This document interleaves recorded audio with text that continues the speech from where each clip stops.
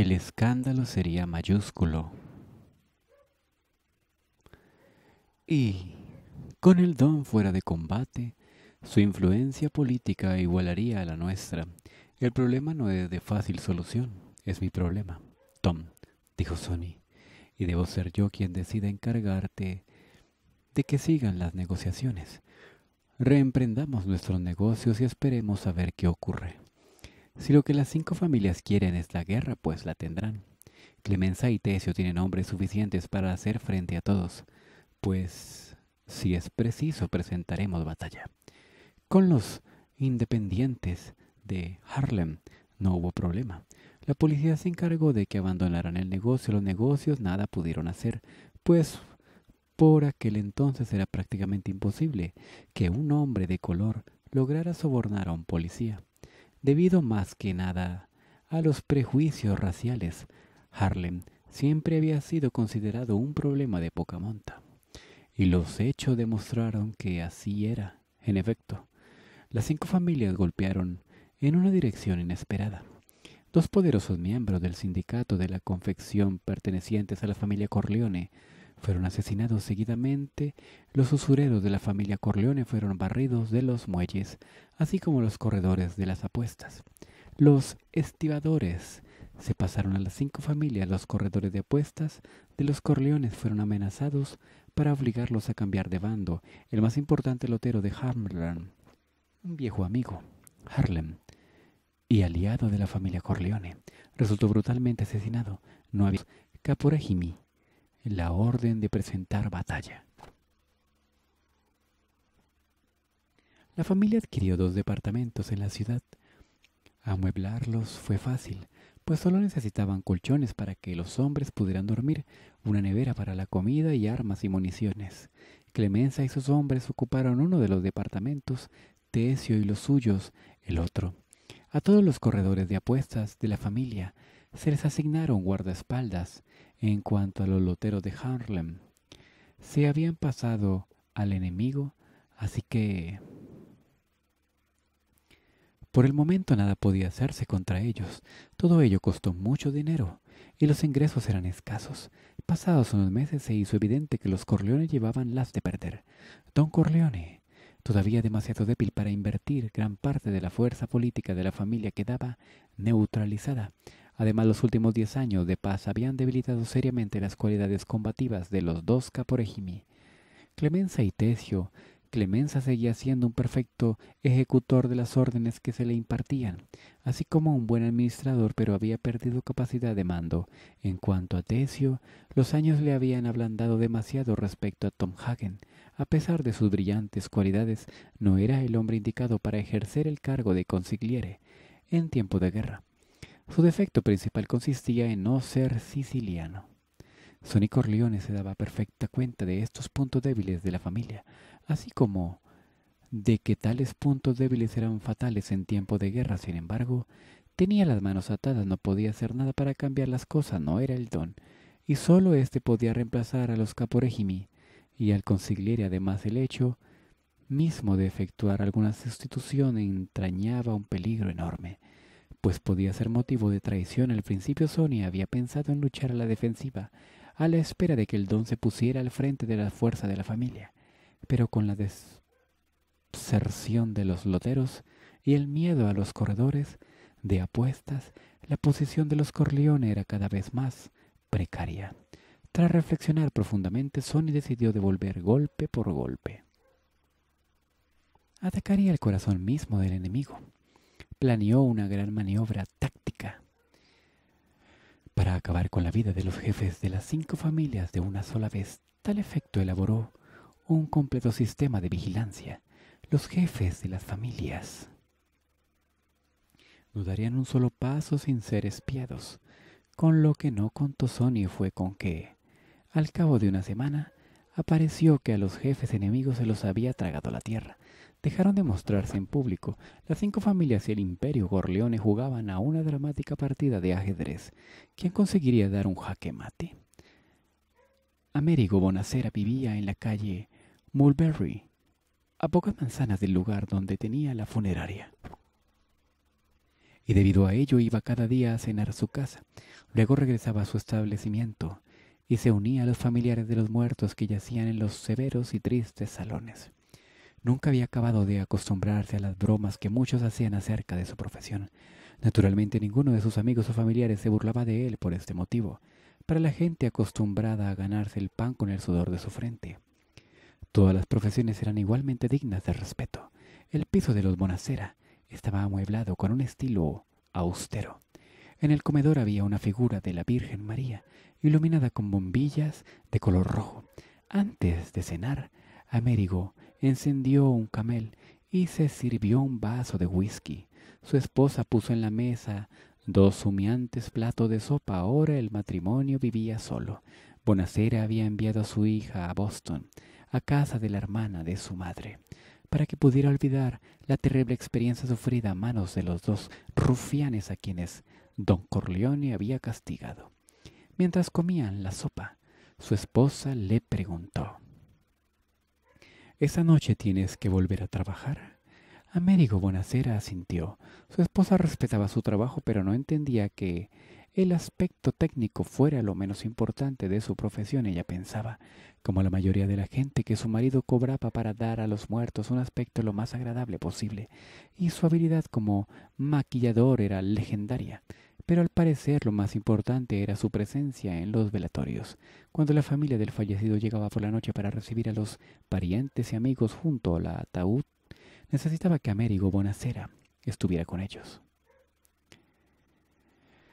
Se trataba del perfecto acompañante de la muerte, con su expresión grave aún enérgica y su voz suave. Presidía el ritual, acallaba las expresiones de dolor demasiado ruidosas, pretendía a los niños que alborotaban sus palabras de condolencia, era siempre como debían ser, ni frías ni exageradas. Cuando una familia utilizaba una vez los servicios de Américo Bonacera, se convertía en un cliente para siempre y temía por norma no abandonar a sus clientes en aquellas horas amargas. Generalmente después de cenar se permitía echar una breve siesta. Luego se aseaba, se afeitaba intentando disimular con polvo de talco su cerrada barba negra y se lavaba los dientes. Nunca olvidaba ese detalle. Finalmente se ponía una camisa inmaculadamente blanca, la corbata negra, el traje oscuro y los zapatos y calcetines negros. No obstante, esta indumentaria su aspecto no era triste sino confortante.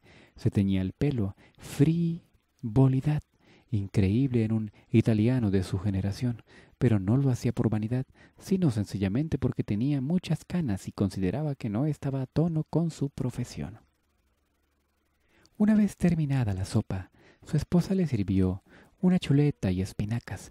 No era un hombre de mucho comer. Acababa la comida, tomó una taza de café y se encendió otro cigarrillo. Entonces pensó en su propia pobre hija. Ya no volvería a ser la misma, su belleza exterior había sido restaurada, pero ahora había en sus ojos un brillo de terror animal. A Américo le resultaba muy doloroso ver el cambio que había operado en ella. Por eso le habían enviado a Boston, tal vez. Allí volvería a ser la de antes. Las heridas físicas habían sanado, las morales también sanarían. Lo único definitivo era la muerte. Y su trabajo había hecho de él un optimista. En cuanto hubo terminado su café, sonó el teléfono. En cuanto él estaba en casa, su esposa nunca contestaba el teléfono, por lo que Después de pagar el cigarrillo, se levantó y se dirigió a la sala de estar donde se encontraba el aparato. Mientras atravesaba el corredor, se aflojó la corbata y empezó a desabrocharse la camisa como hacía siempre antes de tomar la siesta. Luego descolgó el auricular y dijo en tono cortés, ¿Sí? La voz del otro extremo del hilo era áspera y dura. Soy Tom Hagen, lo llamó de parte de don Corleone. Américo Bonacera sintió que el café pugnaba por subírsele del estómago a la boca. Hacía un año que estaba en deuda con don Corleone, concretamente desde el día en que éste había castigado a los agresores de su hija y sabía que era una deuda que tarde o temprano tendría que pagar. Un año antes, al ver los ensangrentados rostros de los dos rufianes, hubiera hecho cualquier cosa por el don, pero el tiempo hace estragos en la gratitud aún más que en la belleza. Ahora Américo Bonacera se sentía al borde del desastre. Sí, comprendo. Le estoy escuchando, dijo con voz temblorosa.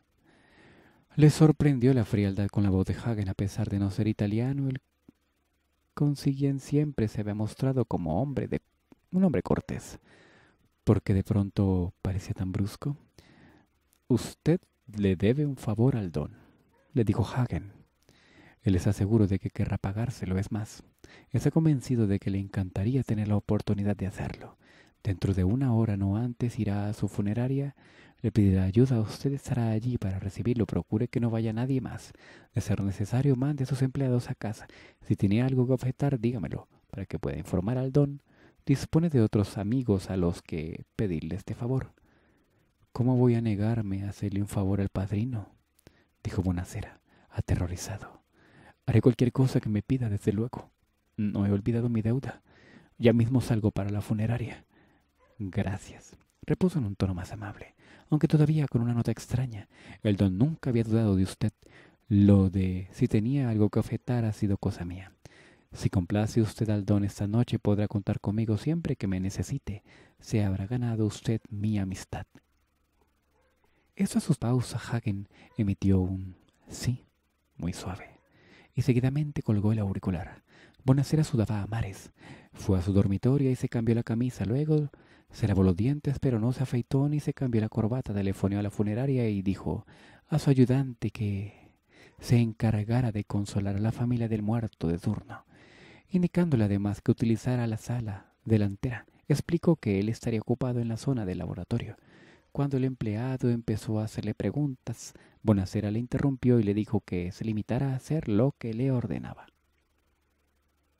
Se puso la chaqueta y su esposa, que todavía estaba comiendo, lo miró sorprendida. Américo le dijo, por toda explicación, tengo trabajo. La mujer al ver la expresión de su cara no se atrevió a hacerle preguntas. Bonacera salió de su casa y echó a andar en dirección a la funeraria. El edificio estaba rodeado de una cerca, un estrecho camino destinado al paso de ambulancias y coches fúnebres.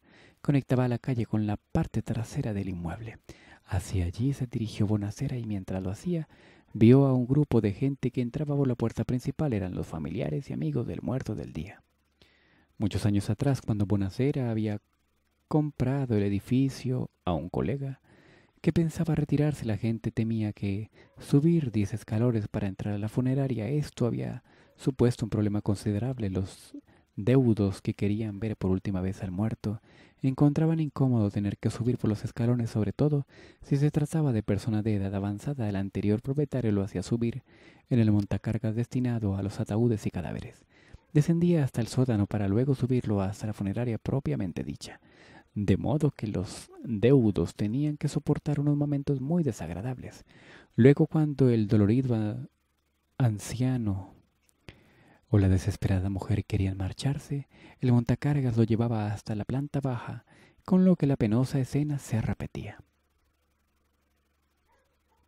Américo Bonacera decidió que el sistema era inadecuado. Hizo quitar los escalones y en su lugar mandó a construir un sendero inclinado con lo que solucionó el problema. El montacargas lo destinó exclusivamente al traslado de los ataúdes y cadáveres. En la parte posterior del edificio separa del resto por una puerta a prueba de ruido. Se hallaba del despacho el almacén de ataúdes, el pequeño laboratorio. Bonacera fue al despacho. Se sentó detrás de la mesa y aunque casi nunca fumaba en el interior del edificio, encendió un camel y se dispuso a esperar al don Corleone. Se sentía cada vez más desazonado, le pediría.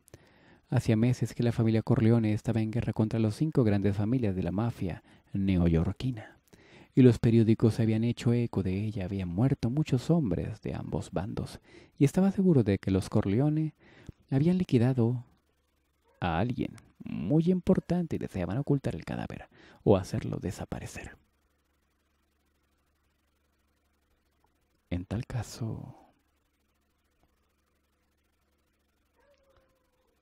había mejor solución que hacerlo entrar lo iban a enterrar por un empresario de pompas fúnebres.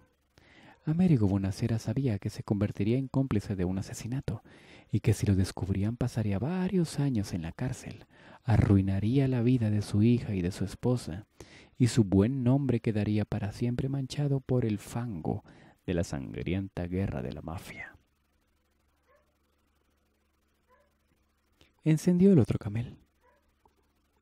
Y un nuevo pensamiento todavía más terrible acudió a su mente cuando las otras familias supieran que había ayudado a los Corleone, lo considerarían un enemigo y lo matarían. Maldijo el día en que había pedido a don Corleone que vengara la afrenta infligida a su hija, maldijo el día en que su esposa y la esposa del don se habían hecho amigas, maldijo a su hija América, a su éxito en los negocios, pero por fortuna recuperó el optimismo casi de inmediato. Quizás todo fuese bien. Don Corleone era un hombre muy listo. Lo más seguro era que hubiese tomado las medidas necesarias para que nada se supiese. Lo único que debía procurar era no dejarse dominar por los nervios, porque naturalmente lo peor, lo irremediable sería ganarse la enemistad del don. Oyó el ruido de neumáticos sobre la grava. Se dio cuenta de que un coche acababa de atravesar el callejón que conducía desde la calle. La parte trasera del edificio abrió la puerta. El primero que entró fue el corpulento Clemenza, seguido de dos jóvenes de aspecto muy duro. Inspeccionaron las diferentes estancias sin pronunciar una sola palabra y luego Clemenza salió. Bonacera quedó a solas con los dos jóvenes. Momentos después, Bonacera reconoció el sonido de una ambulancia avanzando por el callejón y seguidamente volvió a aparecer Clemenza, esta vez seguido de los hombres que llevaban a una camilla los temores de Américo Bonacera se habían convertido en realidad. En la camilla había un cuerpo envuelto en una bolsa de sábana gris, los pies descalzos quedaban al descubierto. Clemenza acompañó a los camilleros a la habitación destinada de los embalsamamientos, el llamado laboratorio, y luego desde la oscuridad del patio otro hombre entró en el bien iluminado despacho. Era don Corleone. El don había perdido peso durante su estancia en el hospital, se movía con cierto embaramiento Llevaba el sombrero en una mano y parecía más viejo, más encogido que la última vez que Bonacera lo había visto, el día de la boda de Connie, pero todavía daba impresión de ser un hombre poderoso. Con el sombrero de altura de su pecho, dijo a Bonacera. Bien, viejo amigo, ¿estás dispuesto a hacerme este servicio? Bonacera respondió que sí y siguió al don que se dirigió hacia el laboratorio, el cadáver estaba ya encima de una de las mesas encalanadas. Don Corleone movió casi imperceptiblemente su sombrero y los otros hombres salieron de la habitación. ¿Qué desea usted que haga? preguntó Bonacera. Tienes que hacer un trabajo en el que quiero que pongas tus cinco sentidos, toda tu habilidad, respondió don Corleone con la vista fija en el cadáver. Hazlo por mí. No quiero que su madre lo vea como está ahora. Don Corleone se acercó a la mesa y apartó la sábana grito de horror. Encima de la mesa, la cara destrozada por numerosos balazos, se hallaba el cadáver de Sonny Corleone, las mejillas, el caballete de la nariz, el rostro todo del hijo mayor del don era una masa informe de carne uh, tumefacta. Durante una fracción de segundo el don se asió del brazo de Bonacera. Pareció un punto de desplomarse, pero luego logró rehacerse. Mira cómo han destrozado a mi hijo, dijo. Quizás fue lo desesperado de la situación que lo impulsó a Sonny Corleone a embarcarse en la sangrienta acción de desgaste que terminó en su propia muerte. Quizá la culpa la tuvo su naturaleza violenta. Lo cierto es que durante aquella primavera y aquel verano emprendió una serie de acciones absurdas contra elementos de tercera o cuarta fila de las bandas rivales. En Harlem, varios proxenetas a suelto de los Tataglia resultaron asesinados y la misma suerte corrieron algunos matones infiltrados en el sindicato de obreros portuarios los jefes de las organizaciones sindicales que estaban al lado de las cinco familias fueron combinados, combinados a permanecer neutrales, y cuando los corredores de apuestas y los usureros de la familia Corleone fueron barridos de la zona portuaria. Son envió a Clemenza y su régimen a efectuar una batida mortal en los muelles. Esa matanza carecía de sentido porque en nada podía influir en el resultado de la guerra. Sony era un táctico brillante que conseguiría brillantes triunfos, pero lo que la familia necesitaba era un genio estratégico de Don Corleone. El asunto generó, degeneró en una sangrienta guerra de guerrillas, extremadamente costosa para todos y que nada decidía. Finalmente la familia Corleone se vio obligada a cerrar algunos de los más productivos centros clandestinos de apuestas. Entre ellos, el de Carlo Risi. Este se dio a la bebida y a las mujeres de la vida alegre. Y Connie era la que pagaba la escuela normal, pero él no se había dignado a prestar oídos a sus súplicas. Ve y dile a tu hermano que no quiero follar contigo. Le espetó burlón. Tal vez consiga ponerme cachondo a puñetazos. Carlo tenía mucho miedo de Sony. Aun cuando ambos se trataban con distante cortesía, sabía que su cuñado era capaz de asesinarlo igual que a cualquier hombre con una frialdad pasmosa mientras a nadie. Sin embargo, a Carlo Risi no se le ocurría pensar que era mejor que Sonny Corleone. En realidad envidiaba la salvaje naturaleza de éste, cuya crueldad se estaba convirtiendo en legendaria. Tom Hagen, en su calidad de consigliere, no se mostraba de acuerdo con la táctica de Sony, pero no se lo mencionó al don, pues veía que los resultados eran hasta cierto punto buenos. Finalmente, las cinco familias parecieron acobardarse. Sus contragolpes se hicieron más débiles hasta que por fin cesaron por completo. Al principio Hagen desconfió de aquella victoria aparente, pero Sony estaba radiante de alegría. Estos hijos de puta se arrastrarán a nuestros pies. Tom, ya lo verás.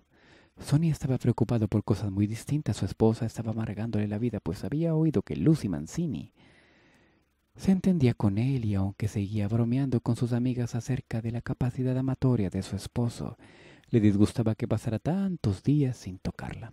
A causa de ello estaba continuamente de mal humor, un mal humor que lógicamente le transmitía a Sony. Además, Sony sabía que estaba en la mira de sus enemigos y eso le producía una tensión continua. Tenía que ser extraordinariamente cuidadoso en todos sus movimientos. Sus rivales habían descubierto una visita a Lucy Mancini, pero él había tomado toda clase de completamente seguro, aunque ella no lo sospechaba. Los hombres del régimen de Santino lo vigilaban durante las 24 horas del día y cuando se despreocupaba, un apartamento de la planta en que vivía lo alquilaban de inmediato. El don se recuperaba, no tardaría en estar en condiciones de volver a asumir el mando. Entonces la balanza se inclinaría definitivamente del lado de los Corleone, pensaba Sony. Es más, estaba seguro de ello. Entretanto, él se encargaría de velar por los intereses de la familia, se ganaría la consideración del don Corleone y cimentaría dado que el cargo del don no era hereditario sus pretensiones como sucesor de su padre al frente del imperio Corleone. A la conclusión de que la única posibilidad de evitar la derrota era acabar con el hijo mayor de don Corleone. Sabían que Sony no se podía negociar. El contrario que con el don, a quien tenían por hombre muy razonable, odiaban a Sony Corleone por su sed de sangre, que consideraban bestial. Además, carecía del sentido de los negocios. Nadie deseaba la vuelta a los días del antaño, tan tumultuosos y sangrientos. Una noche Corleone recibió una llamada telefónica anónima. Una voz femenina preguntó por Carlo. ¿Quién es usted? inquirió Connie. Se oyó una risita irritante y voz la voz respondió. Soy una amiga de Carlos, solo quería decirle que no podré verle esta noche, tengo que salir de viaje. Zorra No eres más que una zorra Gritó Connie. No puedo decir nada más. Por la desconocida había colgado. Aquella tarde Carlo había ido a las carreras de caballos y cuando llegó a casa estaba de pésimo humor. debido en parte a que había perdido mucho dinero y en parte había bebido más de la cuenta. Tan pronto como entró en el departamento, Connie empezó a insultarlo. Él se limitó a no hacerle caso y se dirigió al cuarto de baño para tomar una ducha. Cuando terminó se secó delante de Connie y comenzó a vestirse para salir de nuevo. Furiosa y con las manos en jarras, Connie gritó a su marido.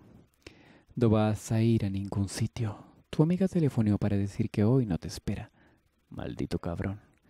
Mira que dar mi número telefónico a una zorra te mataré, hijo de puta. Se arrojó sobre Carlos y empezó a arañarlo y a golpearlo. Él la mantuvo a distancia con un brazo musculoso y le dijo fríamente, Estás loca, completamente loca. Connie se dio cuenta de que su marido estaba preocupado. Él para calmarla añadió, No hagas caso. Debe haber sido una broma. Connie consiguió arañarle el rostro, pero aún así Carlos intentó mostrarse conciliador. Se limitó a apartarla de sí. Entonces ella cayó en la cuenta de que respetaba su preñez y decidió aprovecharse.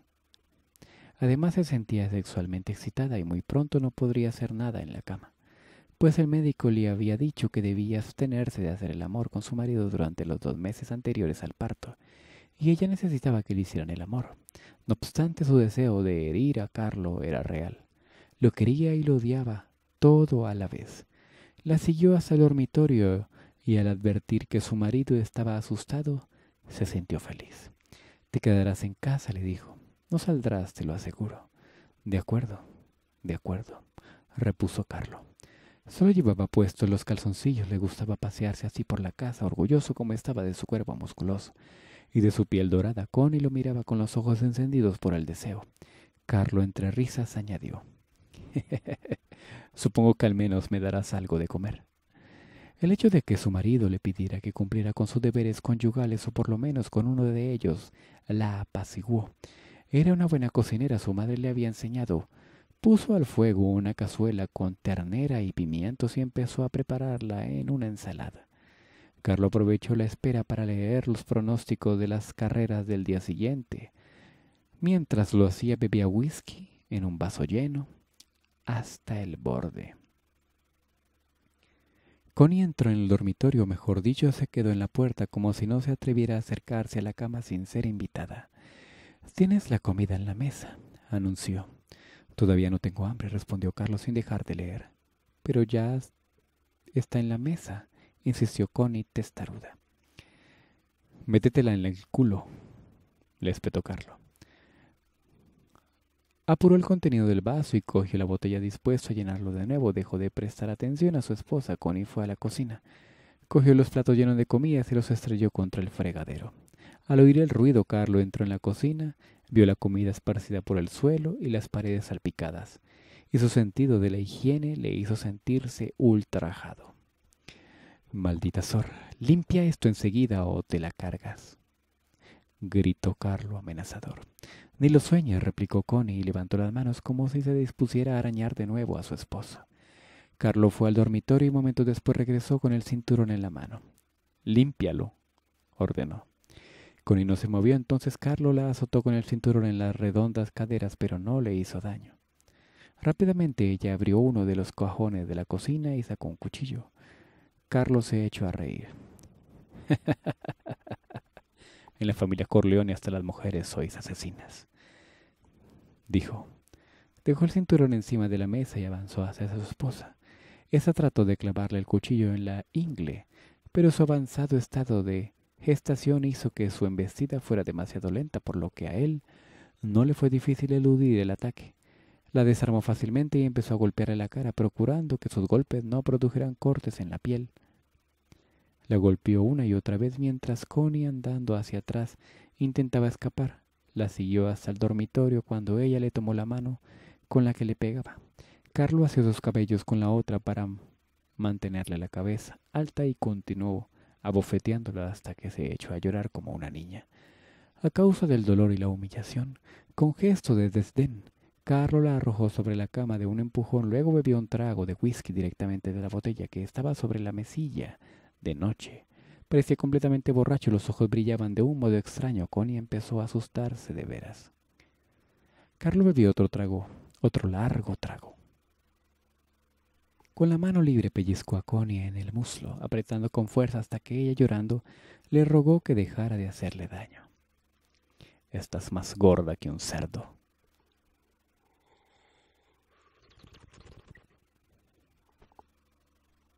Masculló Carlo con expresión de asco mientras salía de la habitación. Cada vez más asustada, Connie permaneció en la cama, pues no se atrevía a ir a ver qué hacía su marido en la otra habitación. Finalmente se levantó y se asomó a la sala de estar. Carlo no había abierto otra botella de whisky y se hallaba tendido en el sofá. No tardaría en quedarse dormido a causa de la borrachera, pensó Connie. Entonces podría telefonear a Long Beach y pedir a su madre que enviara a alguien a buscarla. Esperaba que no fuese Sonny quien se pusiera al aparato.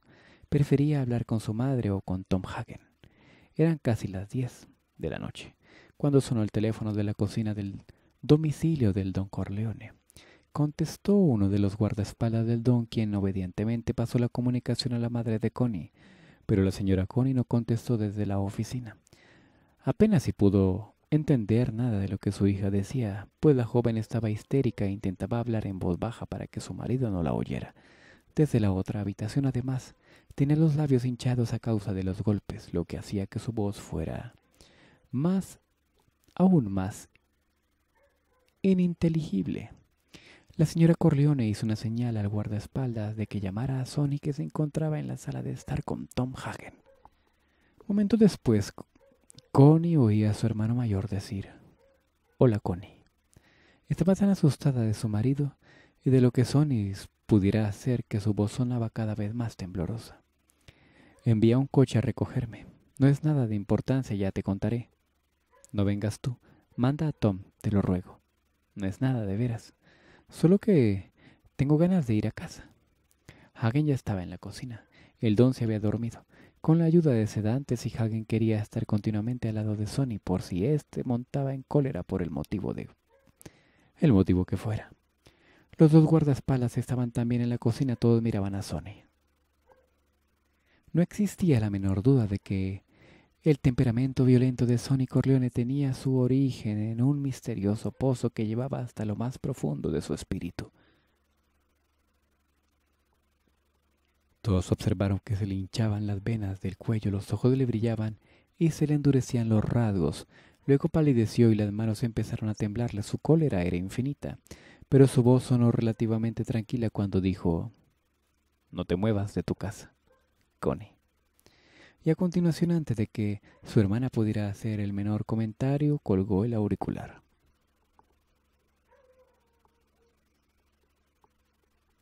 Permaneció unos momentos junto al aparato y dio rienda suelta a su ira, sin siquiera reparar en la presencia de los demás.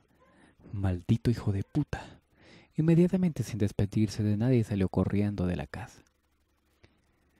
Hagen Sabía que en aquellos momentos Sonny no era dueño de sus actos y sabía también que durante el trayecto hacia la ciudad se calmaría un poco, aunque su peligrosidad aumentaría todavía más, pues se encontraría en mejor situación de defenderse de las consecuencias de su cólera. Hagen oyó el ruido de un motor al ponerse en marcha. Seguido, ordenó a los guardaespaldas. Le hizo algunas llamadas telefónicas lo arregló todo para que varios hombres del régimen de Sony fueran a casa de Carlos Riz y sacaran a este de allí. Sabía que Sony se lo reprocharía, pero estaba seguro de que el don aprobaría su acción. Temía que Sony matara a Carlos delante de testigos. No creía que el enemigo crease problemas. Llevaba mucho tiempo sin causar molestias, por lo que era evidente que deseaba que reinase la paz. Una vez fuera de la finca al volante de su Buick, Sonny volvió a ser dueño al menos en parte de esos actos. Se dio cuenta de que los guardaespaldas subían a un coche dispuestos a seguirlo y aprobó su acción. No temía un ataque, pues las cinco familias habían dejado de luchar. Además, si surgía algún problema, en un compartimento secreto del coche había una pistola y en cuestión de segundos podía sacarla y defenderse. Por otra parte, el automóvil estaba registrado a nombre de uno de los miembros de su régimen. Es decir, que en el peor de los casos no se vería envuelto en ningún problema de tipo legal. De todos modos, no creía que tuviera necesidad de la pistola. Aún no sabía qué iba a hacer con Carlos Risi. Ahora que podía reflexionar con frialdad, se daba cuenta de que no podía matar al padre de un niño que aún no había nacido. Máxime, cuando éste era un hijo de su hermana y menos por unas bofetadas de más. Carlo que cabía la posibilidad de que todo fuera una trampa. Carlo era un mal sujeto. Y Sonny se sentía responsable de la desgracia de Connie. Ella había conocido a Carlo porque él se lo había presentado. Era paradójico, pero a Sonny le resultaba inconcebible pegar a una mujer como tampoco podía hacer daño a un niño. Cuando Carlos se había dejado golpear sin volver ni un solo puñetazo, sin él saberlo, había salvado la vida precisamente por ello. La violencia de Sonny solo se calmaba con la sumisión absoluta de muchacho. Sonny había tenido muy buen corazón, al que con el tiempo se convirtiera en un asesino había sido cosa del destino sencillamente. Esta vez, sin embargo, arreglaría el asunto de una vez por todas, pensaba mientras el Buick avanzaba por el puente que enlazaba Long Beach con los bulevares del otro lado de Jones Beach. Siempre seguía esta ruta cuando iba a New York, pues había menos tráfico. Decidió que enviaría a Connie a Long Beach con los guardaespaldas Luego él tendría una charla con su cuñado, ignoraba qué resultaría de ella, pero si el muy cabrón había hecho daño a su hermana lo pagaría caro. El aire fresco, sin embargo, lo calmó. Para disfrutar más de él, bajo la ventanilla, había tomado la carretera elevada de Jones Beach, como siempre porque a esas horas y en aquella época el año solía estar desierta y podía pisar a fondo el acelerador. Conducir a toda velocidad lo ayudaría a disipar lo que él sabía que era un estado de ánimo peligroso. El automóvil de los dos guardaespaldas había quedado muy atrás. La carretera estaba muy mal iluminada. No se veía un solo coche. A lo lejos divisó la caseta del peaje. Había otras, pero solo funcionaban de día, cuando el tráfico era intenso. Sonny redujo la velocidad y buscó calderilla en el bolsillo como no tenía. Sacó la, la cartera y con una sola mano separó un billete al acercarse a la caseta iluminada. Sonny quedó sorprendido al comprobar que un coche bloqueaba la carretera. El conductor debía de estar preguntando alguna dirección al encargado de cobrar el peaje. Pensó, hizo sonar el claxon y el otro coche se apartó, por lo que el Buick pudo colocarse delante del cobrador. Sonia largó un dólar y esperó el camino. Tenía prisa y por ello, a pesar de que el frío de la noche era intenso, no quiso cerrar la ventanilla, pero el cobrador parecía muy torpe. Al muy imbécil se le había caído al cambio al suelo. El hombre se agachó para recoger las monedas y desapareció de la vista. Entonces Sonny se dio cuenta de que el otro automóvil no había seguido su camino, sino que estaba a pocos metros de distancia.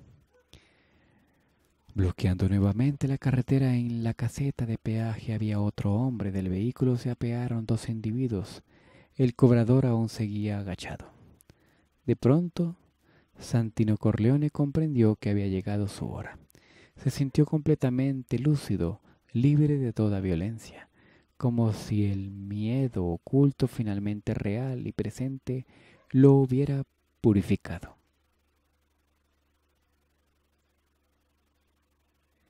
Sonny se lanzó contra la puerta del Buick. Rompiendo la cerradura, el hombre que estaba en la caseta abrió mego. Alcanzando en la cabeza a Sonny que cayó al suelo, los dos individuos que habían apeado del coche sacaron sus armas y dispararon contra el cuerpo que yacía en el asfalto. Luego le golpearon salvajemente el rostro para desfigurarle todavía más, como si quisieran dejar la huella de un poder humano más personal. Segundos después, los cuatro hombres, es decir, los tres asesinos y el falso cobrador, subían al coche y partían a toda velocidad en dirección al bulevar Brook, al otro lado de John's Beach. Los posibles perseguidores que encontrarían el camino bloqueado por el coche y el cuerpo de Sonny de modo que no corrían riesgo alguno, pensaron. Cuando minutos más tarde los guardaespaldas de Sonny llegaron a la caseta de peaje y vieron el cuerpo del jefe, lo último que pensaron fue en perseguir a sus agresores. Dieron media vuelta y regresaron a Long Beach. Se detuvieron en una cabina telefónica y uno de ellos llamó a Tom Hagen. Sus únicas palabras fueron, Sonny ha muerto. Le tendieron una encerrona ante la garita de peaje de John's Beach. Bien, repuso Hagen, sereno como siempre. Ve a casa de Clemenza y dile que venga enseguida. Él te dirá lo que debes hacer. Tom Hagen había hablado desde el teléfono de la cocina donde la señora Corleone estaba preparando algo de comer para su hija que no tardaría en llegar. La anciana no se había dado cuenta de nada, era lo bastante perspicaz para percatarse de todo, pero sus años de vida junto al don le habían enseñado que era mejor no hacerlo, ni siquiera intentar adivinar qué ocurría. Sabía que si algo malo sucedía no tardaría mucho tiempo en enterarse. Y si podía evitar saberlo mejor, pues se ahorraría sufrimientos, estaba contenta de no tener que compartir el dolor de los hombres, porque después de todo compartían ellos el de las mujeres. Impasible puso la comida sobre la mesa. Por experiencia sabía que el dolor y el miedo no perjudicaban el apetito. Al contrario, la comida los mitigaba. Si un médico le hubiera recetado un sedante, se habría sentido humillada, pero una taza de café y unas tostadas eran otra cosa. La señora Corleone procedía desde luego de una cultura más primitiva. Por eso no dijo nada cuando Tom Hagen se fue a la sala de reuniones una vez allí. Tom Hagen comenzó a temblar tan violentamente que tuvo que sentarse con las piernas muy juntas, con las manos apretadas contra las rodillas y la cabeza gacha. Parecía que estuviera rezándole al diablo. Acababa de descubrir que no era el consigliere adecuado para tiempos de guerra. No era el consigliere para tiempos de guerra. Lo habían puesto en ridículo, se había dejado engañar por la aparente timidez y la cobardía de los cinco familias, que habían permanecido inactivas planeando su venganza. No habían reaccionado a las provocaciones de la familia Corleone, sino que habían preferido descargar a un solo golpe, pero terrible. El viejo Yanko, abandando, no se habría dejado engañar, habría olido el peligro y triplicado sus precauciones. Hagen se sentía culpable, Sonny había sido su verdadero hermano, su salvador, y de muchachos también su héroe, y nunca se había mostrado altanero ni agresivo con él, siempre lo había tratado con afecto. Y cuando sollozo lo dejó libre, el abrazo de Sonny había sido el propio de un hermano. Su alegría, una alegría sincera. El hecho de que Sonny fuera un hombre cruel y violento carecía, a los ojos de Hagen, de importancia. Había salido de la cocina porque sabía que nunca sería capaz de decir a mamá Corleone que su hijo había muerto.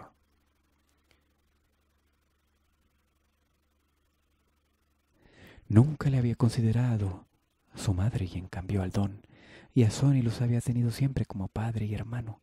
El afecto que sentía hacia ella era la misma naturaleza que él, que experimentaba por Freddy, Michael y Corley. Era afecto, pero no amor. Era la misma naturaleza del que experimentaba por Freddy y Michael y Connie. Era afecto, pero no amor. No obstante, no podía decírselo. En pocos meses había perdido tres hijos. Freddy estaba exiliado en Nevada. Michael, que se encontraba en Sicilia. Y ahora Santino, a cuál de los tres había amado más la anciana. Era imposible saberlo. Hagen no tardó en recuperar el control de sí mismo. Marcó el número de Connie, que respondió con voz temblorosa. Connie, soy Tom, dijo Hagen con la calma que lo caracterizaba.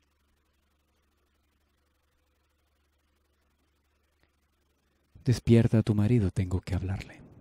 Asustada, Connie preguntó en voz baja, ¿Sabes si viene Sonny, Tom? No, Sonny no vendrá. No te preocupes. Despierta a Carlo y dile que debo hablar con él. Me ha pegado Tom, dijo Connie llorando. Y si sabe que he llamado a casa, temo que volverá a hacerlo. No lo hará, no te preocupes. Cuando hayamos hablado será otro hombre. Dile que es muy importante que se ponga el teléfono de inmediato. Pasaron las cinco minutos antes de que se oyera la voz de Carlo a través del hilo. Hagen advirtió que había bebido mucho. Escucha, Carlo. Voy a decirte algo que te impresionará. Cuando te lo diga quiero que me respondas como si la cosa fuera menos trascendental de lo que en realidad es. Le he explicado a Connie que debía decirte una cosa importante, de modo que tendrás que invertarte algo. Cuéntale que la familia ha decidido ofrecerte una de las casas de la finca y un trabajo importante. Que el don ha decidido darte la oportunidad de ganar mucho dinero. ¿Me sigues? Sí, adelante, respondió Carlo en tono esperanzado. Hagen prosiguió. Dentro de pocos minutos, dos de mis hombres se presentarán en tu casa para llevarte con ellos. Diles que primero quiero que me telefoneen, pero no le digas ninguna otra cosa. Les daré instrucciones de que os lleven a ti y a Connie a la finca. ¿De acuerdo? Sí, sí, comprendo, dijo Carlo. Estaba excitado por el tono en que Hagen le había hablado. Se daba cuenta de que la noticia sería realmente importante. A continuación, Hagen fue derecho al grano. Han matado a Sonny. Ha sido esta noche. No digas ni una palabra, Connie lo llamó mientras dormías. Y él iba camino de tu casa. No quiero que Connie lo sepa. Aunque lo sospeche, no quiero que lo sepa con certeza pensaría que ha sido culpa suya. Tampoco quiero que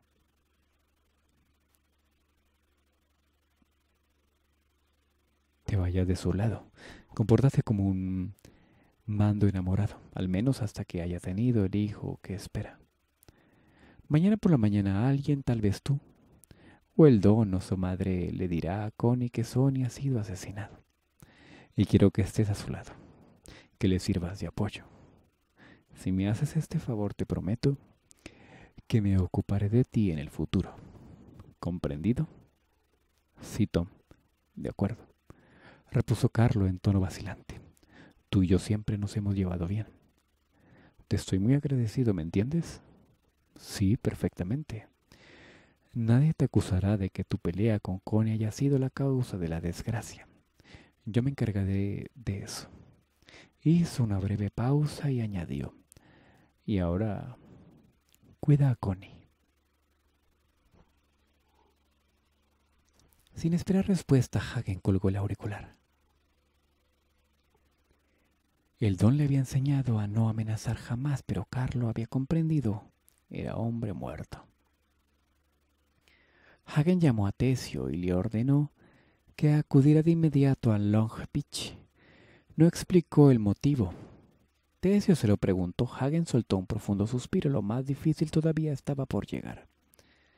Tendría que despertar al don, la persona a quien más quería en el mundo, y decirle que le había fallado, que no había sabido proteger a su hijo mayor. Tendría que decirle que todo estaba perdido, a menos que el propio don, enfermo y todo, resolviera presentar batalla. Hagen no se hace ilusiones al respecto, solo el gran don podría a pesar de la tremenda derrota que acababa de sufrir, conseguir la victoria final. Hagen ni siquiera se molestó en hablar con los médicos. Tenía que decírselo todo a su padre adoptivo, aunque con ello pusiera en peligro su vida. Y luego seguirlo, y no cabía la menor duda acerca de lo que el don haría. Las opiniones de los médicos carecían de importancia, todo carecía de importancia, el don debía ser informado.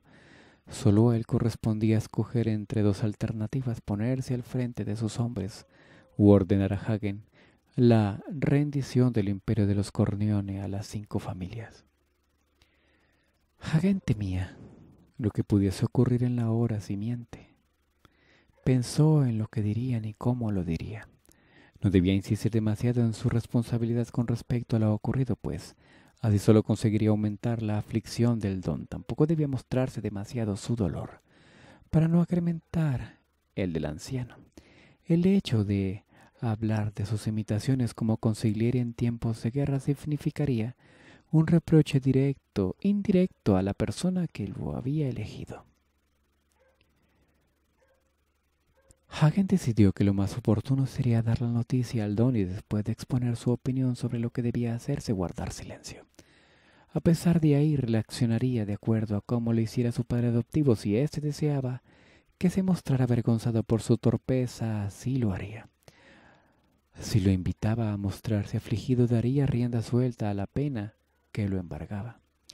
Hagen alzó la cabeza al oír el ruido de los coches que entraban en la finca. Las caporejime estaban llegando. Hablaría con ellos antes de subir a ver al don. Del mueble bar sacó un vaso y una botella. No tenía ánimos ni para echar el licor en el vaso.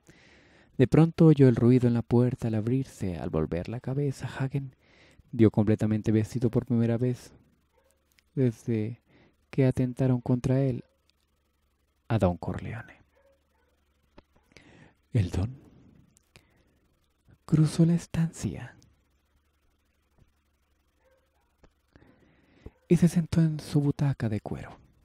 Caminaba con cierta lentitud y las ropas venían un poco holgadas, pero los ojos de Hagen tenían el mismo aspecto de siempre. Parecían como si con el solo poder de su férrea voluntad hubiera borrado cualquier vestigio de debilidad física. Su rostro denotaba la fuerza de siempre. Una vez que se hubo sentado, dijo a Hagen, Sírveme un poco de anís. Tom Hagen sirvió un vaso, un poco de aquel licor casero mucho más fuerte que el que vendían en las tiendas. Regaló regalo de un amigo que cada año le enviaba unas cuantas botellas. Mi esposa estaba llorando. Antes de dormirse prosiguió. Don Corleone. Desde mi ventana he visto llegar a los Caporegimi.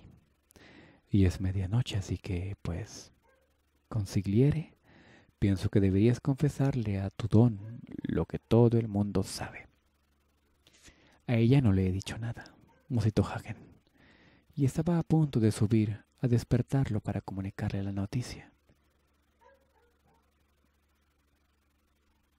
Pero primero necesitabas tomar un trago. Sí, reconoció Hagen. Bien, ya lo has tomado. Ahora dime lo que sea. En el tono del don había un ligero reproche de debilidad de Hagen. Han disparado contra Sony. Ha sido en la carretera. Ha muerto. Don Corleone parpadeó. Por un instante pareció que su voluntad de hierro iba a derrumbarse, y en su rostro apareció una mueca de dolor, pero se recobró enseguida. Acodado en la mesa, don Corleone apoyó la barbilla en las manos mientras miraba fijamente a Hagen. Dime todo lo que ha pasado. Alzó una mano y añadió. No. Prefiero que guardemos a que lleguen Clemenza y Tesio. Te ahorrarás el volver a contarlo. Segundos después, acompañados de un guardaespaldas, los dos caporegime entraban en la habitación de inmediato advirtieron que el don ya estaba enterado de la muerte de su hijo, pues se levantó para que lo abrazaran, ya que su calidad de viejos camaradas podían hacerlo. Antes de comenzar a hablar, Hagen le sirvió un vaso de anís. Cuando hubieron bebido, el don se limitó a preguntarles.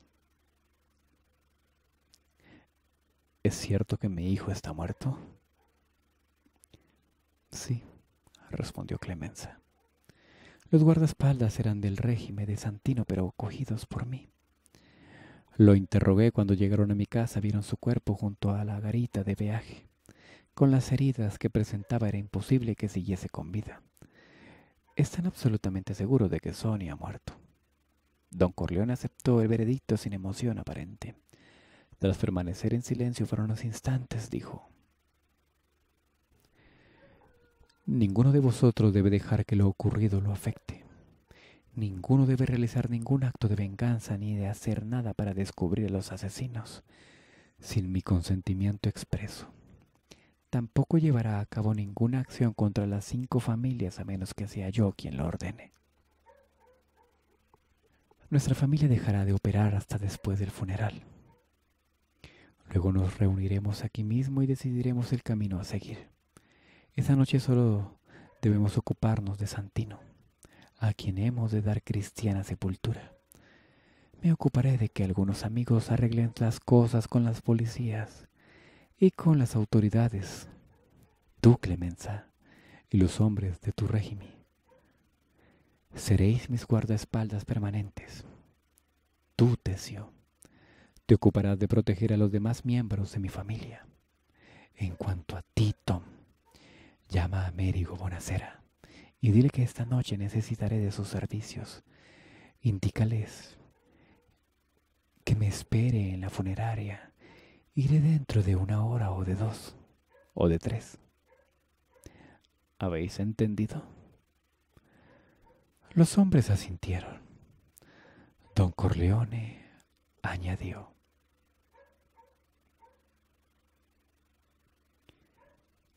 Clemenza ordena a unos cuantos de tus hombres que me esperen con varios coches.